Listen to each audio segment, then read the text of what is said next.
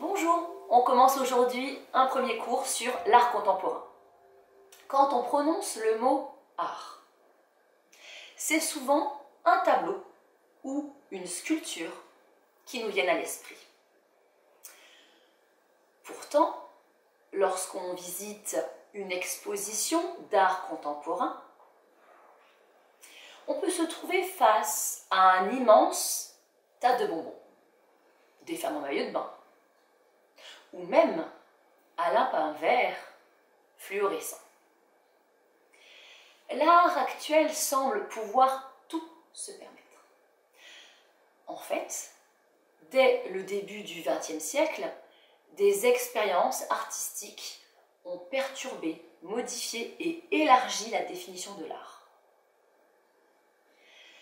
Certains artistes, comme Marcel Duchamp, Joseph Beuys, Yves Klein ou encore Andy Warhol, entre autres, ont créé des œuvres qui ont donné une grande liberté aux créateurs d'aujourd'hui. À la fin des années 1960, il n'est déjà plus possible de classer les œuvres d'art dans l'une ou l'autre des deux grandes catégories que sont la peinture et la sculpture.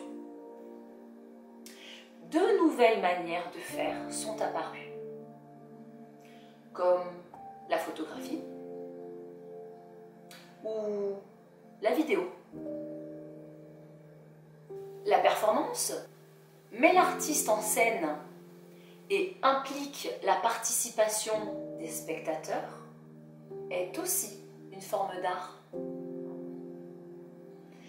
Avec le land art, les œuvres sont réalisées en plein air et mettent en question l'espace du musée qui ne peut plus les contenir et les conserver.